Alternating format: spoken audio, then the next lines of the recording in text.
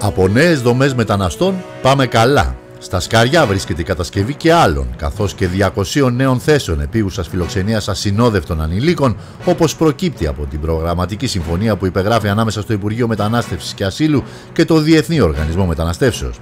Μάλιστα, η δράση υλοποιείται με χρηματοδότηση της κυβέρνησης της Δανίας, η οποία δόθηκε υπό μορφή δωρεάς στην ελληνική κυβέρνηση για το σκοπό αυτό.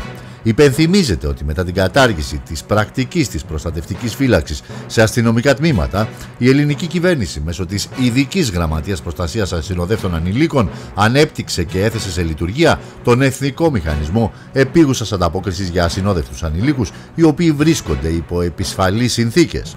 Οι νέες αυτές δομές έρχονται να συμπληρώσουν τη λειτουργία του μηχανισμού που περιλαμβάνει 24ωρη γραμμή επικοινωνίας και κινητές μονάδες εντοπισμού. Έτσι, σύμφωνα με την κυβερνητική ανακοίνωση, θα παρέχεται ολοκληρωμένη προστασία και κάλυψη των αναγκών των ασυνόδευτων ανηλίκων. Με τα νέα δεδομένα, η χώρα μας αποκτά ένα οικοσύστημα προστασίας ασυνοδεύτων ανηλίκων που φροντίζει τόσο για την υποδοχή όσο και την κοινωνική ένταξη, αλλά και την αντιμετώπιση κάθε είδους κινδύνου που μπορεί να αντιμετωπίζουν τα ασυνόδευτα ανήλικα που βρίσκονται στην ελληνική επικράτεια. Κατά την κυβέρνηση διασφαλίζεται ότι κάθε ασυνόδευτο ανήλικο που εντοπίζεται άστεγο ή βρίσκεται σε οποιοδήποτε κίνδυνο προστατεύεται άμεσα.